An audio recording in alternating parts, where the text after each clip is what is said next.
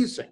It has so many resources. And so when, when we're coaching teachers, when we're working with a grade level group of teachers, when we're working with the two fifth grade teachers in a school, and I've got some real time, I find that the toolkit gives me an amazing array of resources. And then I just want to say one other thing. NCTM took just came out with two new books. Um, they had Catalyzing Change in 2018 for high school. I have major problems with that. I'm not happy with it, what NCTM has done at high school, but the brand new Catalyzing Change for early childhood and elementary school is phenomenal. Huh. It is so crisp and so clear and so powerful. And so, all of us who are working with teachers and trying to get these changes that's just a great resource for us to get our act together on these things. And I strongly urge that we get some copies of that. We float around. I think there's an electronic copy that we can probably share. Um, I read it and, and got to review it. I think that, you know, I have a blurb on the back page, but I can't tell you how enthusiastic I am about it. Now I go running around saying, if only the high school volume was as good as the as the elementary. Duh. Oh, that's that's great. Um, I I like the concept of. I saw the concept of the the the thinking behind the high school. The idea was sounded good. I just uh, the way it was done, maybe yeah. not much. So. Yeah, and there there are three or four really three or four really important things in there, um, but they're all done better um, in the um, elementary one. That's great. I love the idea. Well, then we have next year's study. Um, that's good.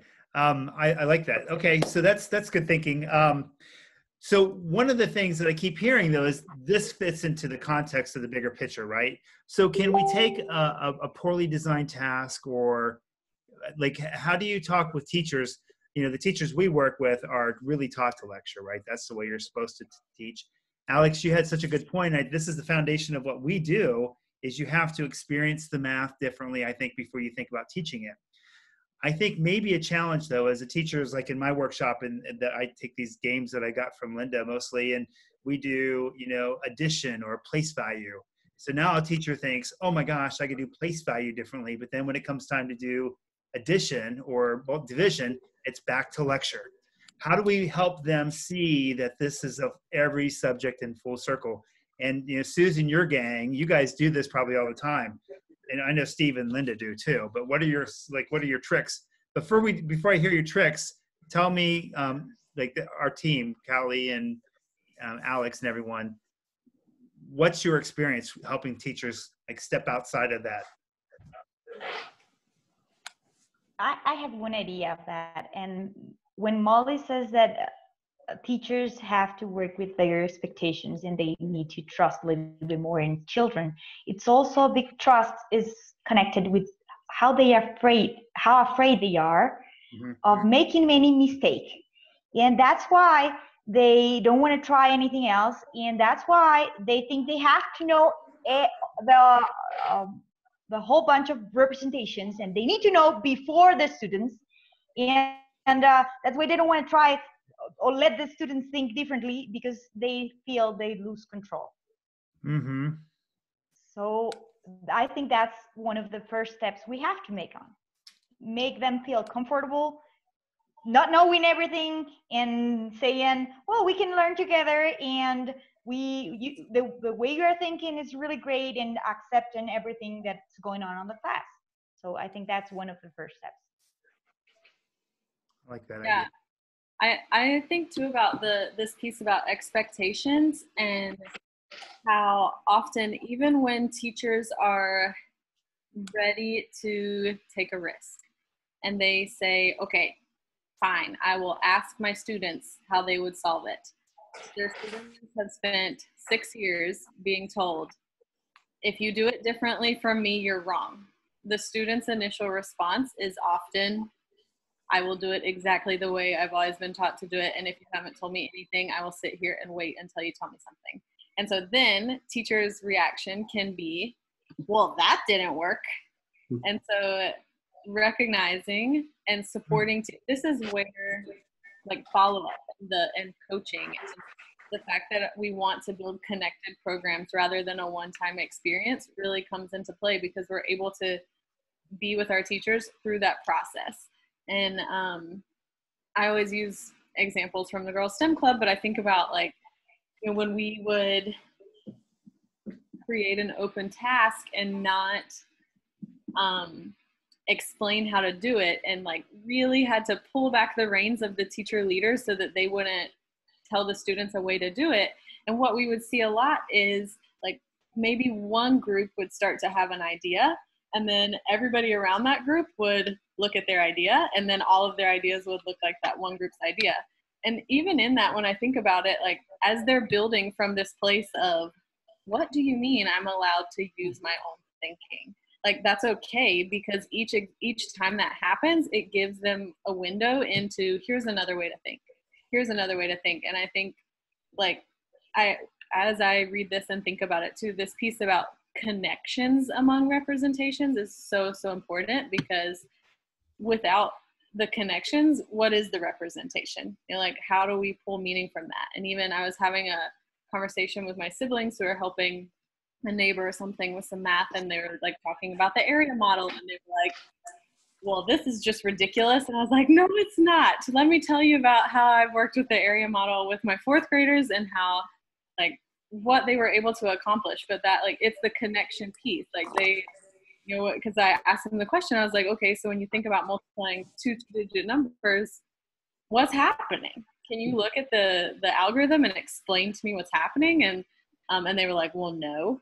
And so you know once when kids are able to understand the area model and connect that back then they can explain they understand what's happening. And so i like this idea of like the connections between all of the representations helps us to like paint a deeper picture and um, and understand better. But recognizing that it also takes time and both students and teachers um, like we have to create spaces where it's okay for them to take risks and like there is some unlearning that has to has to happen particularly as we continue to get um, like once they've had more years in the system.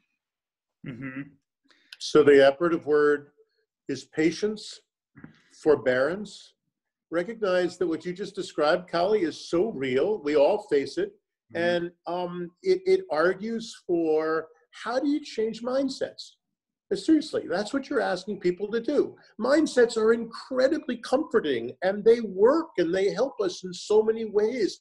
They frame who we are. And what we're talking about here is changing mindsets. So, number one, patience and a recognition that nobody does this in a week or even in a year. It's a gradual process. Mm-hmm. I'm ecstatic when somebody does it with fractions because they hated fractions. They know they're not good at it, but they can't seem to do it for division because it's not as comfortable. They don't have the same skills.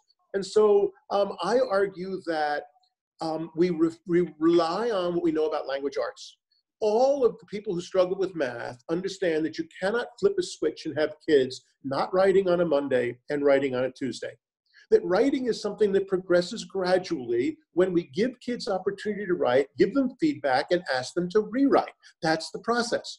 Well, if that's how people finally become writers, and we know that it is a 10 year process, then why would we think anything other than changing our mindsets about math and how to teach it is anything different?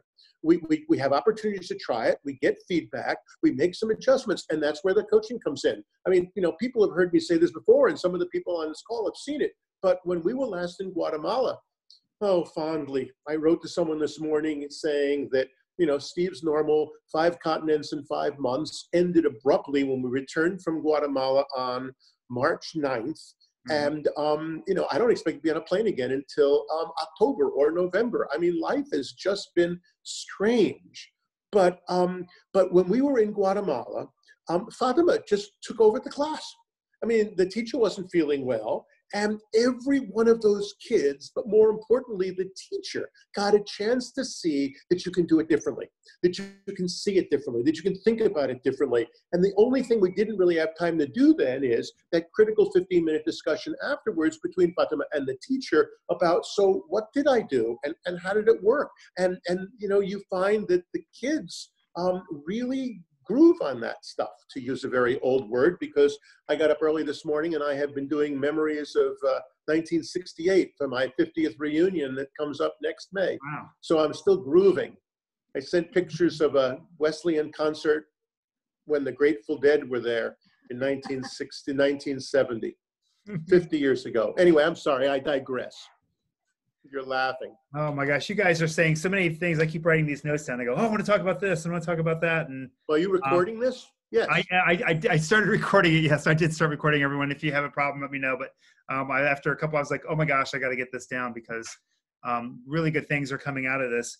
Um, one thing that can I, I want to go back because one thing I thought is really important um, is we have to think about a way for, especially internationally, where there's this very sort of patriarchal, the authority knows model um, to help the teachers um, make mistakes, but not because they're making mistakes, but because they know their craft.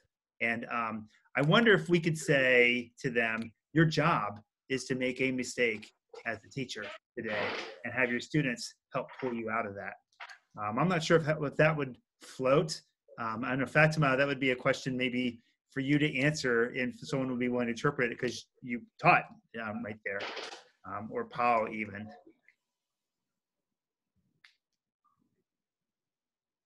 What would, how would you respond if, if your te- if someone said your job today is to make a mistake as a teacher?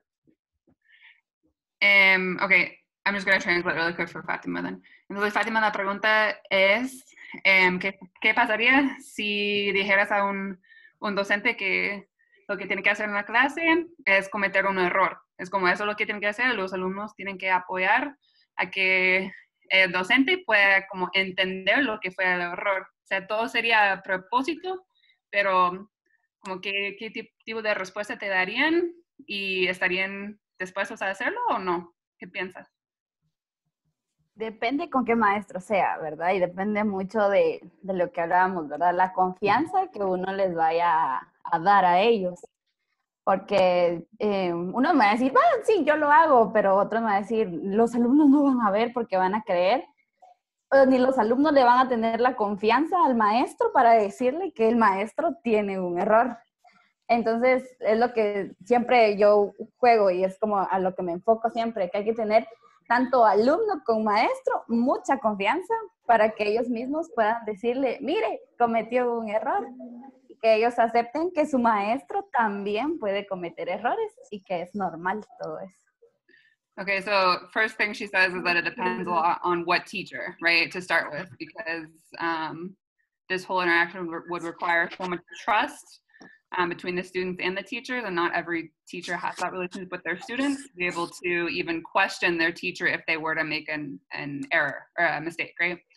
Um, so that's like a, a crucial part of being able to do that, and then to be able to say like, "Hey, you did this wrong," or "There's an error," or whatever it may be, like that interaction in itself. So Fatima is um, really focusing on the the trust aspect of of that to be able to make a mistake in front of the class and then and then um, have them help to fix it.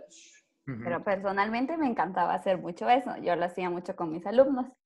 Eh, era como, bueno, vamos a resolver un problema, por decirlo así, ¿verdad? Y yo trataba de confundirme o hacía algún proceso mal o alguna operación y era como se me miraban y me decían, ¿verdad? Me- Más de algunos, siempre tenía como levantaba su manita o me decía, señor, usted se confundió ahí.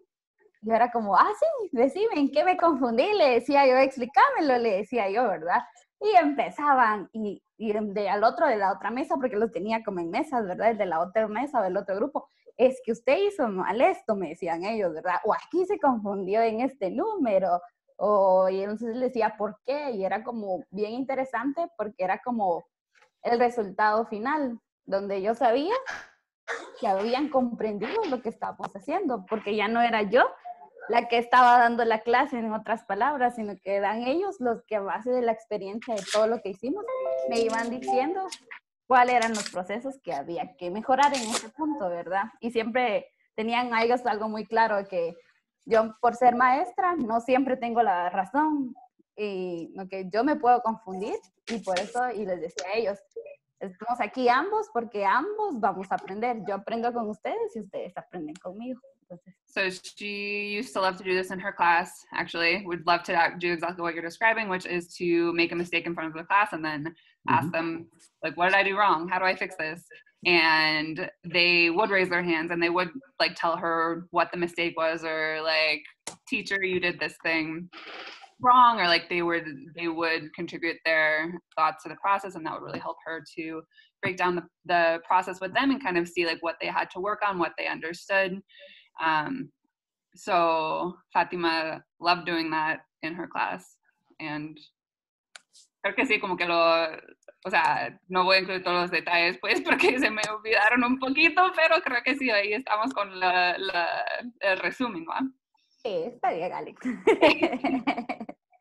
No sé si Pau algo más que escuchaste. There's, there's something that Fatima says, and uh, that's also related with Kali, with what Kali said, is that uh, the first thing is, well, working with teachers that uh, have to build this safety space, that even they have the trust, they trust themselves to do this kind of things. Uh, the students' reaction is really interesting. Because, as Kali said, this students being has been taught the same way. So the first reaction is even they see that the teacher is making any mistake, they won't say anything.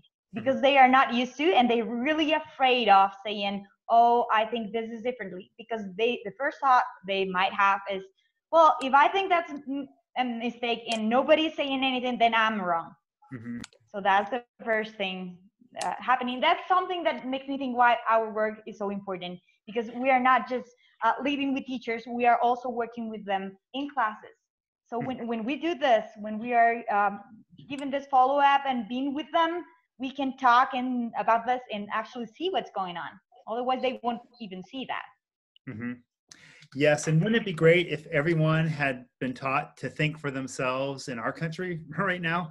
Um, because I think that thing that Callie said, students don't realize that they are required to think for themselves. Um, that's the reason I think math is the key to critical thinking and problem solving. Is um, when you open the door to lot multiple representations and making the connections, that's what happens. Um, can can we move to the? I want to move to the example of the the sample lesson because I thought that was such a a great lesson. Um, and um, the first bit is there are these three important things, you know. Um, and so I wonder if you guys can describe and would generally describe your thoughts about the lesson and and what was your takeaway? Do you think it's something that you could do in your space? I think teachers in Ecuador and Guatemala would would, would be up for that.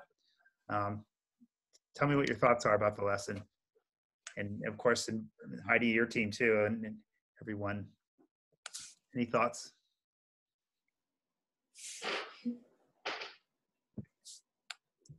I mean, for me, this we try to work on this stuff with with teachers all the time, and it goes back to both, you know, what everybody is saying here. It's the teacher's level of comfort, um, their what they've projected with their students as the right way and the wrong way. Um, but I think what for me was the takeaway is that you know not only did this teacher ask kids to find a partner that had a different representation, but then they added another level to that and then did that again.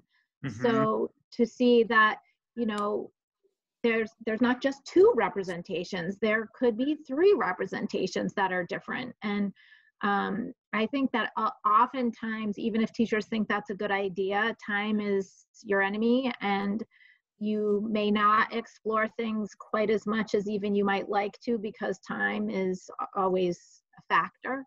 Um, yes. But I liked, I, I mean, this was kind of like what we've been talking about, right? Like just giving kids a problem and saying go. Mm-hmm. Um, and that's not comfortable for a lot of teachers, but what, you know, Paula and, and Callie are describing are transitional issues, right? So if, if we're trying to start doing something like this, anything that's new for teachers or anyone is going to have transitional issues. So once we can set a stage and a mindset for what we are hoping that kids think on their own. I mean, kids don't think on their own. Again, like the reading thing, they don't start reading the day after you start reading. Like, you know, that takes some time, as does writing, as does this. So I think that this is a process that teachers have to understand that you don't just try it once and then it works and then you're golden. Um, and that goes along with the whole idea of multiple subject areas, right? Like you've learned how to do this with addition, but now when you get to fractions, you have no idea how to do this. Well, there comes the learning curve again. You have to start all over and figure out what are the representations that make sense. But um, I, I, felt like with this lesson, it was um, just giving kids opportunity to see that there's many more ways of representation than just my way or your way. Mm-hmm. Yes, I agree with that completely. Depending on um, even the setup, and we run into this problem in the US all the time where, oh, well, I'm not going to, it goes to the time factor that Molly was talking about. Well, I won't get through the lesson if I spend time doing this. So giving teachers permission and really pushing them to think about, okay, what are what, what are one or two good problems or tasks that you can do in a lesson versus the page of, you know, in some cases 40, 50 fair number problems that right. that you're going to be working on so that we give permission to step away from that and then still show that they're you're still getting at the same learning. And i think it's very difficult to trust that like oh well they need the the practice. Um you know so you know i, I don't read the same sentence over and over again mm-hmm. when i'm learning to read. Um it's you know it's that same same piece of understanding what's one or good way that we can look at and really take it apart versus you know a whole list of things. But i mean that's that's not a problem that's specific to a country. We have that problem here too oh i won't cover the lesson. Well what were you really trying to get at? And what representations were you making available? And what opportunities for students to make sense of it? Were you building into the lesson time? Um, and and equating that is just as important or more important than um, the practice problem element of it. Yeah, yeah, that's good. What other thoughts? Yeah, Susan. I, I was thinking about the use of a vignette or a case study as a really nice tool that's provided in the book. And I think um, it might be interesting to push a little further with it because maybe everyone reads and goes, yep, like that's really great. And then I think we need to say, um, would this work with your students? And you know, why or why why or why not? Like how do we what are the barriers to that? So if they say yes, it's it's like great, let's now go do that together if you're coaching. And if the answer is no, it's it's sort of why not? What are the barriers that you see that are getting in the way? And can we knock those down one at a time? Because I think we can um, view a good example and agree that it's a good example. And I love the use of case studies, but then I think we need to personalize. And now, now I need to help you put it in action. You know, so it might be interesting if you were to use that case study. Is this is this um I guess it's for you. I was just wondering if this book is in is available in Spanish. Yeah, well, they have it in Spanish. We have it in Spanish. Okay. Yeah, so it might be interesting to take that case study a step further to, to be personalized. Yes, I had a little bit that same question, um, and there's some distinctions that I see in this case study about the students that this person's working with that are probably not a typical classroom. Um, but what do you think? Answer that question. You know, those of you in the field. Uh, would this work with the students that you see? And if not, what kinds of things do we need to put in place to make it work? I guess, yeah, Alex or Fatima or Callie or Paul.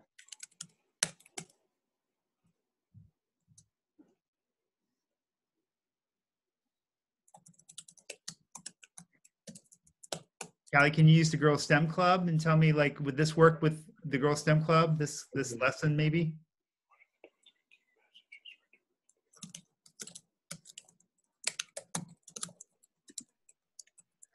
Yeah, I think so. Um, when I mean, so obviously we haven't done this exact problem, but what we have tried to do is look at and build out different representations um, in getting to the and and talking about them as well and then that is that's an area that we made a lot of progress was being able to have students talk about what they did and not just repeat all of the numbers on their papers. Mhm. Um, and I think like on our new website, one of the the picture that's at the top of the Girls STEM page is like girls in front of their work. And so moving towards them being able to explain like, well, why did you think about it that way and, and what's happening there? And you know, and students were still um, kind of all over the place there as a whole if you look at the the group and it was also a place where interestingly you know so i have been saying as students have been in the system and as they get older it can be harder for them to to break out of it. But also having older students paired with younger students in that place that was a really interesting like when we worked out tasks that was a really interesting place where the older students were able to lead um, with their groups. And but even like the girls when i think about that photo they were third graders um, and were able to to talk about how they like created different visual representations i guess pictorial um, where they were thinking about like how many people could i put in this lifeboat to save everyone from this um, Right. peruvian ship that ecuador destroyed? Like how can we save all the people? How many lifeboats do we need? Um, and they were able to like that was one of the places where i think we really saw a lot of different representations and um and they were able to start talking about it so Mhm. it's something i think we should lean more into as we continue Right. Well, so the thing I'm learning working with Ali so often is how important it is just to be transparent and to say, this is why we're doing the thing we're doing. And what I love in every vignette we've seen so far, um, and, and really they start off by saying, as a teacher, you want to say, here are my goals. And this teacher says, I'm expecting you to find different representations. Now, the kids know what a representation is. It's not like a te- secret teacher word that they don't really say to the kids. Um, but I love that the teacher is explicit um, with that. And, um, and tha- that's important. I mean, S- Steve and, and Linda and, and even S- Susan, you guys, how, how does, can you do this quickly or virtually? You know, like I hear often, okay, that's great for one school. How do you scale this to the entire continent of South Africa quickly by next week? We can't do it by next week, but but can you scale it? Is this something you can do virtually? I know Steve, you travel and do workshops, and then how do you follow up with them, It- or do you, or do you just leave people in place? What's what's the process for you all that are leaders? You start with an understanding that it's at least a year's worth of work. You um, have some workshops that can be done virtually or face to face. There needs to be um, training of two or three or four people on site. Um, you know, depending upon whether it's a school or a district, those people are extra specially trained, and those people get to meet every other week in a Zoom conference so that they talk about what worked and what didn't work, and what successes they had and what failures they had and we turn to all of the resources that are out there. You know, I mean, I like the way in which you are separating them out. You have to recognize that you can't do all eight. Um, you know, I, I've argued for years that the um, Common Core standards have the eight mathematical teaching practices, and frankly, you can't do all all eight. I think there are only the first four that really matter. I think that the same thing applies here. Um, I, I mean, I think that all eight are important, but it really is are you talking about planning or are you talking about teaching are you talking about you know the the, the congealing of, of things? Um, the planning we spend time just on tasks and goals. Um, and and you know that doesn't take all year but we're monitoring it we're doing our goals we're thinking about tasks we're looking at resources. I think that the three most important and the three hardest are the questioning, the discourse, and the representations. I think that's where we get out of our comfort zone. We move away from the lecture. And so you, you can't do it in, in short term. And a workshop is useless, except that it raises issues, models some things, and then hopefully gives people some ideas to go back and try. Yes, I like that uh, way we're you're talking about weaving into technology so that we don't have to be in person each time. And I hear you say we need to have some anchors on the ground.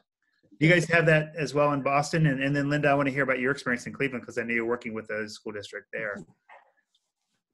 Yeah, we've um, recently been able to set up what we called lab classrooms and lab as in the world collaborative. So spaces where teachers agree to, like Steve says, some additional training and meetings, and then that they will make their learning public.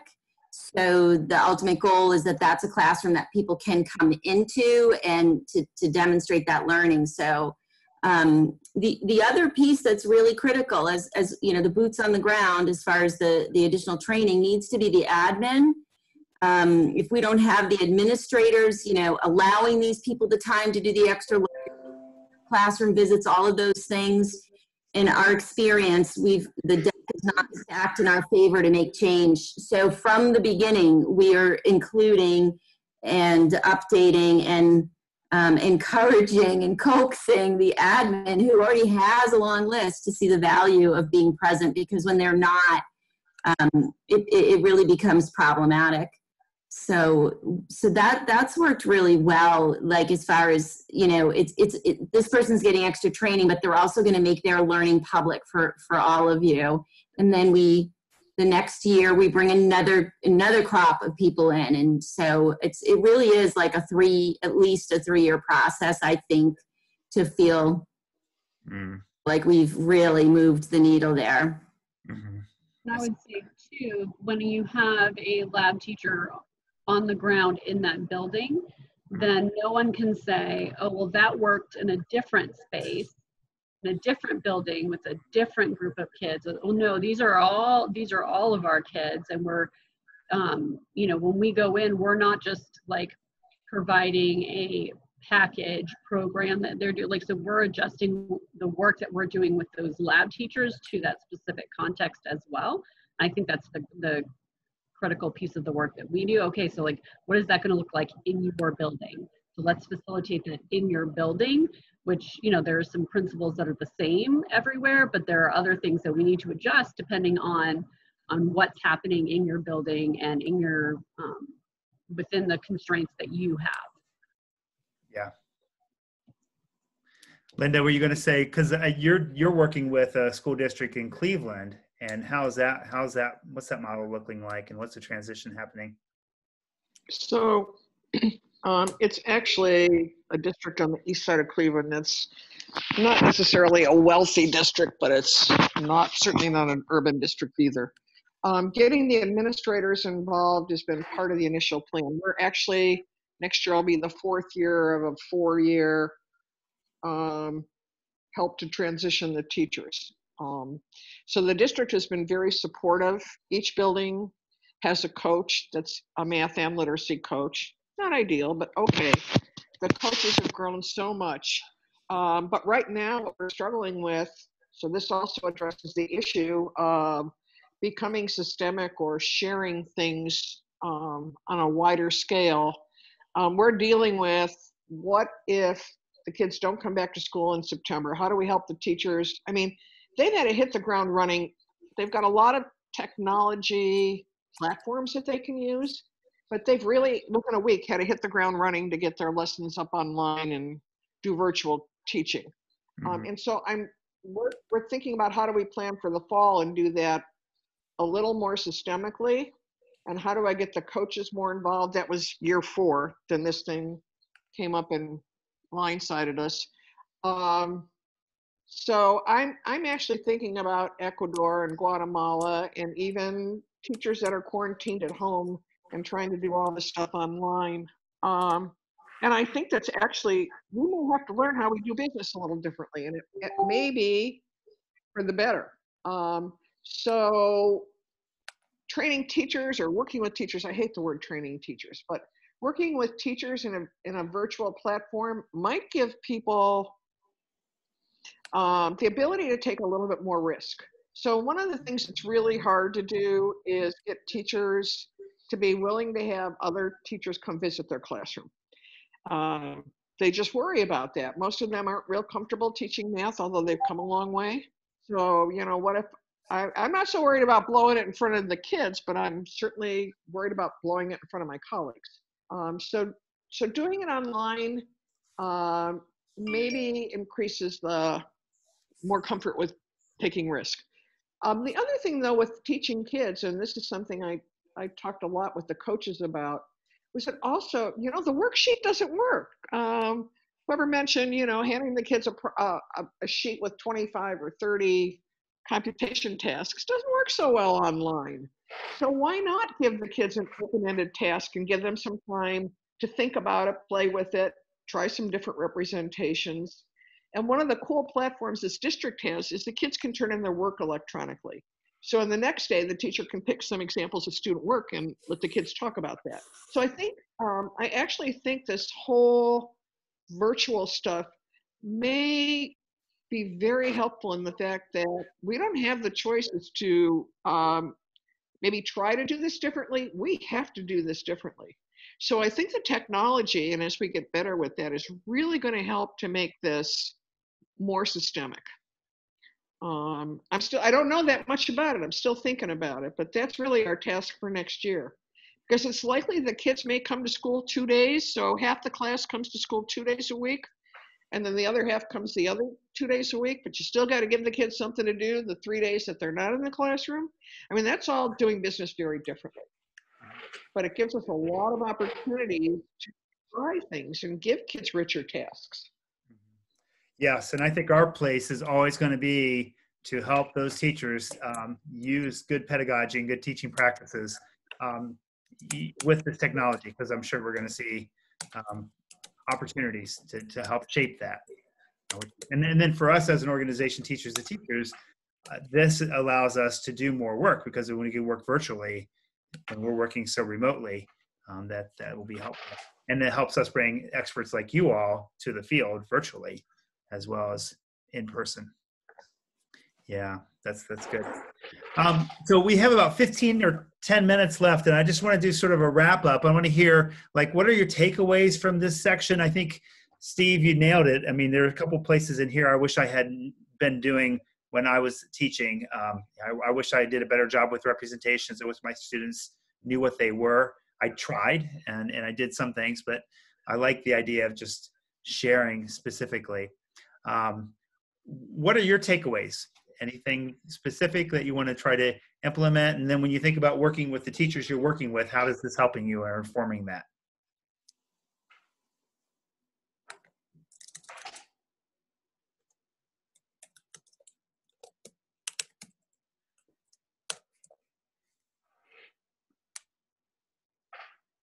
So don't be shy. There's lots of, you know, you all work with teachers I mean, I, I think a big theme here was trusting their thinking and letting the student thinking lead. So I think that's and and encouraging um, teachers to shift that mindset to believe in their students' thinking. I think I think that's a big a big theme what we talked about today. Mm-hmm. Yes, you know, um, I, I love this. I talk a lot about um, Carpenter and Lehrer's um, sort of processes to learn something. They call it mathematical processes to learn a mathematical concept. And it's really what you need to do to learn something new. You need to connect to previous knowledge. You need to extend to new topics. You need to make it your own. You need to articulate it to others. And then you need to reflect. And to me, you cannot make it your own unless you understand multiple representations. It's really critical. It also is important to help you connect to previous knowledge uh, because if I go straight to abstract, I'm not going to be able to connect the way I want to. So this is fundamental to making the knowledge your own. I think one of the best things of this uh, conversation is um, the connections between the representations and making uh, students and teachers also connect different ways and uh, making this thinking visible and out loud so they can actually talk about that is really great. Because it's not enough i think it's a great way of starting just giving students or teachers in our case when we're working with teachers the to try to think first in different ways of thinking. But after that we need to wrap that.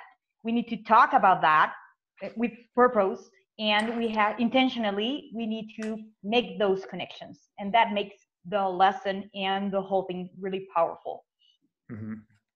Like that. I think another one that came up in various points of the meeting was about just the consistency and the need for follow-up with like the, the workshop kind of mindset that it doesn't change from one workshop to another. That might be like dipping your toe into it, but it doesn't mean like it's like you have to manage your expectations about what is real for teachers when they're making a big change like that. And also for administrators or anyone else that might sort of think that like this should change the map like right now why did they not after one workshop suddenly completely change the way that they're teaching? And i think that's something that comes up a lot in the work that we do and just like managing those expectations around what's real and like the kind of follow up having people on the ground that are doing that um that sort of coaching and being there when we're not. One conference isn't going to change everything like i think those are things that um, i definitely heard at different points today and i think they're super central and important to to work that we do mm-hmm.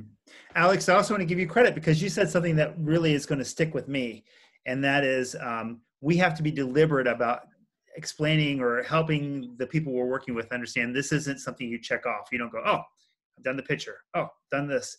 Done the, now let me get to the stuff I know, which is to lecture to them. This is the process. So that's that's something we want to remind them and help them understand that nuance, that step. And I would add to that, um, I think one of the things that we can do to help convince teachers why this is so important is really build that um, idea of deeper learning or deeper understanding. Um, mm-hmm. Because even if I can solve a problem in multiple ways, um, that helps me to understand more deeply what's going on. Um, and so some people will blow off the area model for multiplication, for example, and say, oh, that's just a waste of time.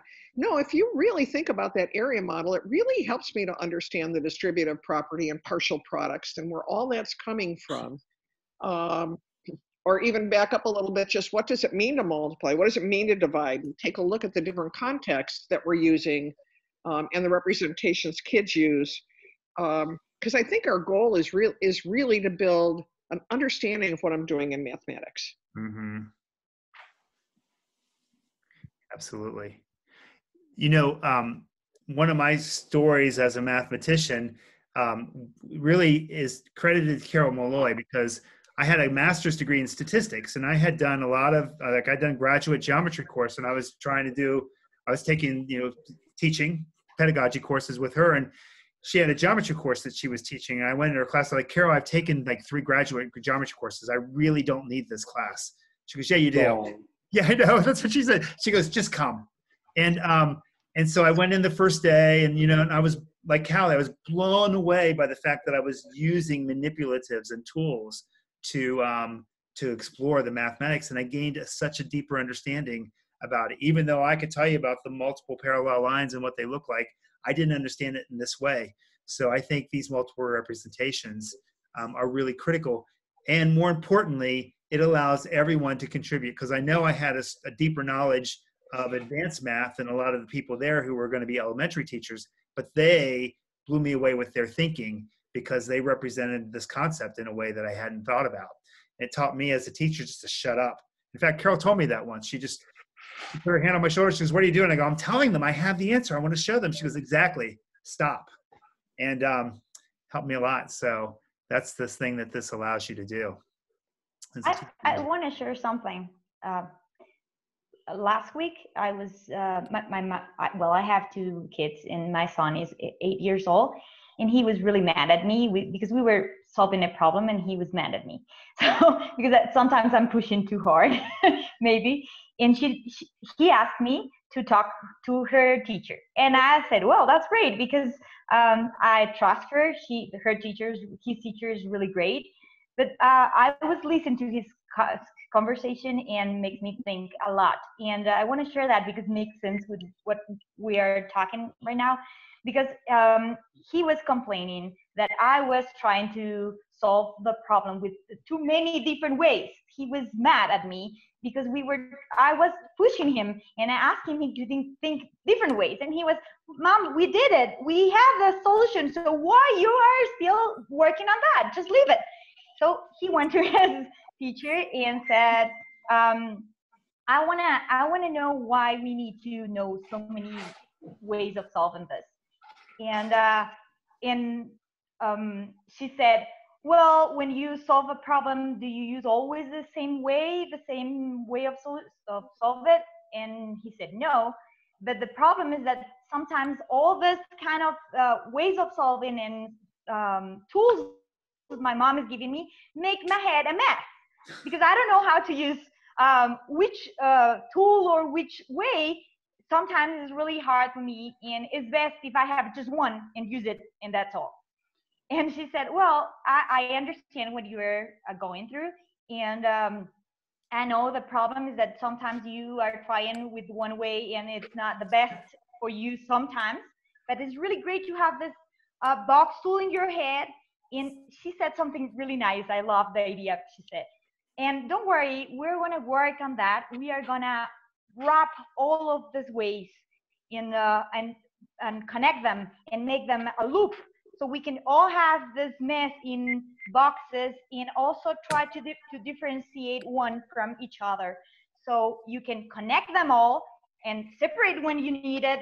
And also when we are doing this loop when you use some of them and you took one from the, your box and does it not work then you can find the loop the, the, the connection and pull a little bit more and you will find another one so that's the way you will start thinking and i love that idea just thinking Great. of boxes and wrapping things and ideas and you have all these boxes full of strategies and he was calmed down because he thought well my box is really a mess but I glad I'm glad you said you're gonna work with uh, with me on making this mess a little bit more Nice.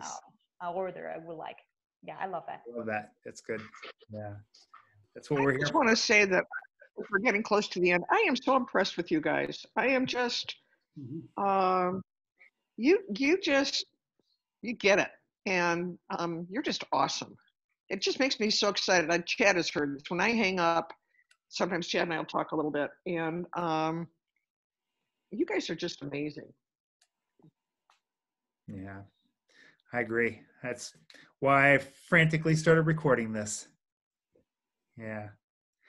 All right. Any last comments or thoughts? But, but everyone take a look at Naomi's green room. I thought that's very cool that you have that back there, Naomi. I was trying it. I made my own green screen. Yeah. Yeah, I can um, share my takeaways really quickly too. And it, it also what you were just talking about, Chad, and then going into what Pal said, it reminded me of when I taught in the Dominican Republic and I had a combo class of like fourth through sixth grade, but there was also a third grader and a seventh grader.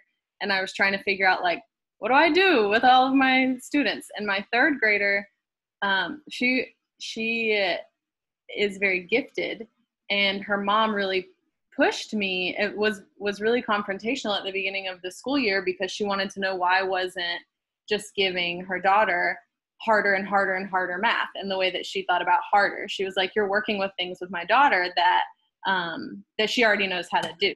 And by she already knows how to do was she knows how to get the answer. And so what i really worked on with her was okay how do we take this deeper? How do we think of another way to solve it?